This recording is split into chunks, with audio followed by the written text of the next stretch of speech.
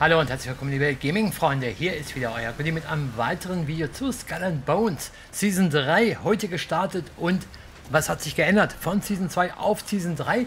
Da gibt es nämlich auch einiges, was wir beachten müssen, bevor wir uns in einem weiteren Video dann natürlich hineinstürzen in das, was alles neu gekommen ist mit Season 3. Wie gesagt, das sind so viele Sachen, dass es da wirklich mehrere Videos benötigt, das Ganze, ja, sage ich mal, vernünftig rüberzubringen, ohne jetzt halt jedes Mal dann irgendwie so ein 30-Minuten-Video oder so ein Schmarrn zu machen. So lange will keiner schauen und so kann sich jeder sein Thema herauspicken und dieses Thema heute, also Änderung von Season 2 auf Season 3 und was es da alles gibt, gibt es gleich direkt nach der Werbung. Und für günstiges, schnelles, zuverlässiges Silber, Items oder auch Boost für Skull Bones, checke einfach MMOEXP. Der Link ist unten in der Videobeschreibung. Verwende dort einfach den Code GOODIE und es gibt nochmal zusätzlich obendrauf 6% Rabatt auf alle Bestellungen. So, und damit sind wir zurück.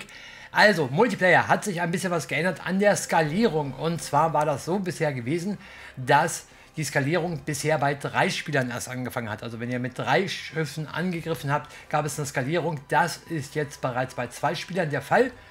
Und sie haben vorher ja verschiedene unterschiedliche Ska Skalierungswerte genutzt während einer Aktivität und das war besser, um mehr Konsistenz in die Kämpfe hineinzubekommen, wenn sie das Ganze jetzt so herunterberechnen auf zwei Spieler, also ab zwei Spieler die Skalierung bereits aktiv wird. Die Skalierung betrifft folgende Werte. Einmal natürlich die Schiffshüllenstärke, dann natürlich die Stärke oder besser gesagt die Lebenspunkte der Schwachpunkte und wie viel Schaden per Schuss ausgegeben wird.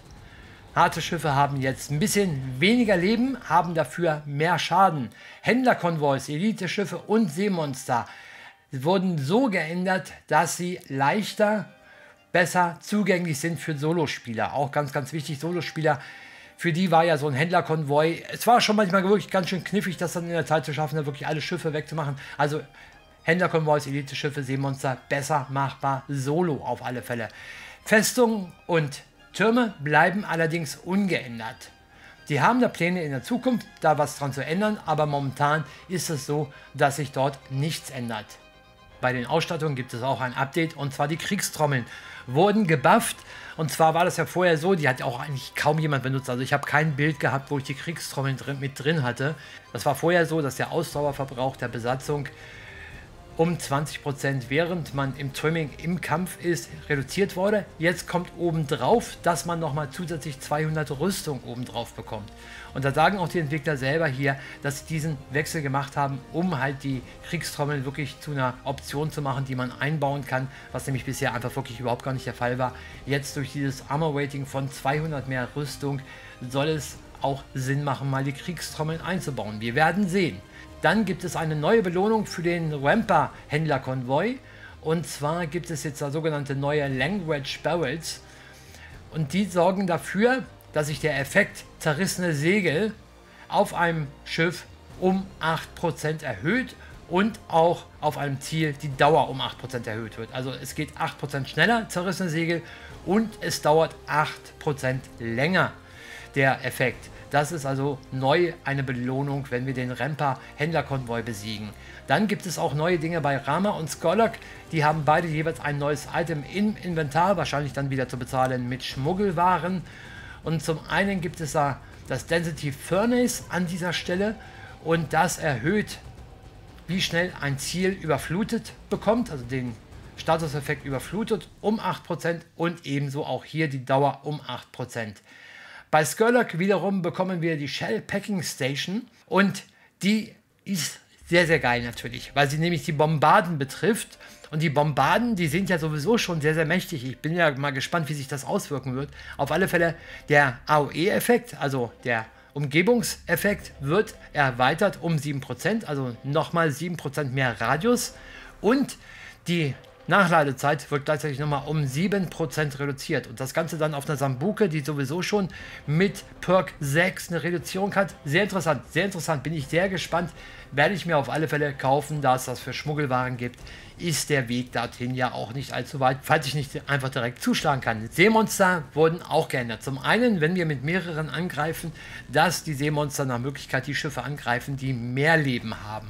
Ist also nicht mehr so, dass ihr unbedingt einfach, ja, keiner Arsch seid, derjenige, der durchgehend aufs Maul bekommt, bis ein Schiff gesunken ist und alle anderen ballern frei drauf los, sondern jetzt wechselt das Seemonster vernünftig auch das Ziel und nimmt sich dann immer den, der den höchsten Lebensbalken hat. Ansonsten gibt es hier eine ganze Menge Sachen, die einfach dafür sorgen, dass wir das Seemonster auch viel öfter zu Gesicht bekommen, dass wir also viel öfter die Möglichkeit haben, auch drauf zu ballern. Das ist ja momentan so gewesen, oder besser gesagt in der letzten Season so gewesen, dass man da doch relativ lange Phasen hatte ohne Kampf, weil man einfach darauf gewartet hat. Das soll jetzt ebenso besser sein. Und selbiges haben wir natürlich auch bei Megalastari. Auch hier sehen wir dann, die Zeit, die ja unter Wasser ist, wurde reduziert, dass wir leichter drauf schießen können. Und dann kommt das Geilste und zwar endlich reduzierte negative Effekte von Gegenwind. Und hier kommt das Allerschönste an dieser Stelle. Hier müsst ihr einfach hinlesen. Das ist das Einzige, was uns wirklich interessiert. Und zwar, wenn wir Gegenwind haben, wird unsere Geschwindigkeit nur noch maximal um zwei Knoten reduziert. Also sprich, mittlere Schiffe um zwei Knoten, kleine Schiffe um einen Knoten. Und das waren halt vorher fünf bis acht Knoten und das tat schon richtig weh. Ne? Wenn einem da so acht Knoten fehlen, dann war das wirklich nur noch Schippern. Das hat gar keinen Spaß gemacht. Das haben sie geändert. Das war sehr, sehr wichtig auf alle Fälle.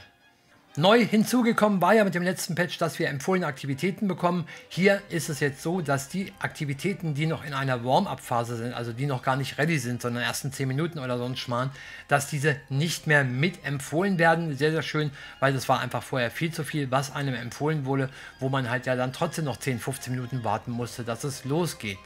Update to Onboarding, das scheint wohl einfach ja, die Einführung ins Spiel zu sein dass man da nicht mehr länger durch den Atoll-Part durchspielen muss, sondern viel früher nach St. Anne kommt. Keine Ahnung, wie das damals gewesen ist. Ist schon lange her.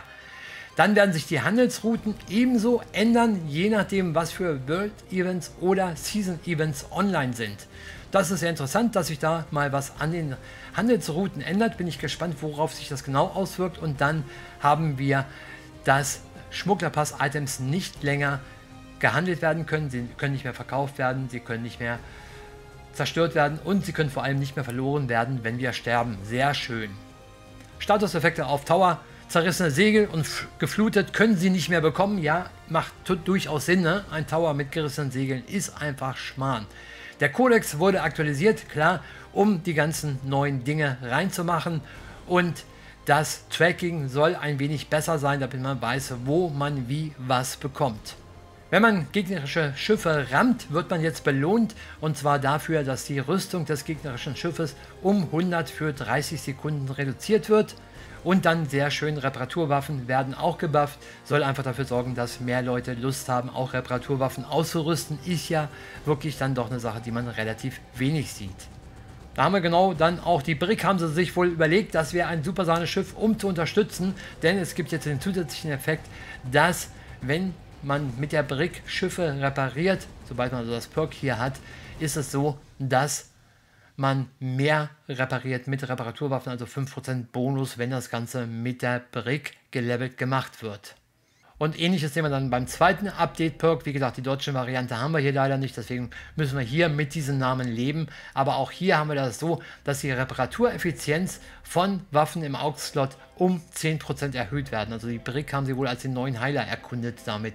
Und ebenso haben wir dann weitere Updates natürlich für die Snow, Cutter, Bark, Beda, Brigantine. Also es wurde alles ein bisschen geupdatet und die Brick, ich denke mal auch letztendlich die Brick-Änderung, deswegen bin ich darauf eingegangen. Die anderen lasse ich jetzt einfach so hier stehen, wie sie sind. Die Brick wird, glaube ich, einfach zu wenig benutzt. Ne? Und deswegen halt natürlich auch noch mehr stark hier oben die einzelnen Perks auf Reparatur aus auf Support ausgelegt, um halt vielleicht mehr Spieler zur Brick zu überzeugen. Ansonsten sehen wir hier, dass sie da überall so leichte Änderungen gemacht haben. So leichte Änderungen an den Schiffen. Ich packe euch natürlich die kompletten Patch Notes unten rein in die Videobeschreibung. Aber ich merke, das Video wird jetzt auch schon wieder viel zu lang, wenn ich hier jeden Punkt einzeln wirklich komplett abarbeite weil damit haben wir dann nämlich den letzten Punkt Verbesserung und Bugfixes und hier geht es wirklich hauptsächlich um Bugfixes. Da sind dann eher viele interessante Sachen dabei mit dem, was neu ist. Das sind hier wirklich, wie gesagt, einfach nur größtenteils Bugfixes, die jetzt nicht so interessant sind. Natürlich, wenn man selber betroffen ist von irgendeinem Bug, der eventuell nicht funktioniert hat oder so, dann ist es schön, dass das jetzt behoben wurde, aber auch das findet ihr dann komplett in den Patch Notes. Ich denke, die wichtigsten Sachen sind wir nämlich drauf eingegangen, wirklich halt die neuen Sachen, die wir bei Skurlock haben, dann vor allem ja das Update auf die Seemonster, dann dass es halt hier die Kriegstrommeln verbessert wurden. Ich denke, das war wirklich so das Wichtige an den neuen Änderungen in Skull and Bones, der Wechsel von Season 2 auf Season 3. Das war es erst einmal von mir. Ich danke euch fürs dabei sein. Im nächsten Video gucken wir dann auf die ganzen Neuigkeiten in Season 3. Ich sage bis dahin, so long goodbye, keep gaming, euer Goodie.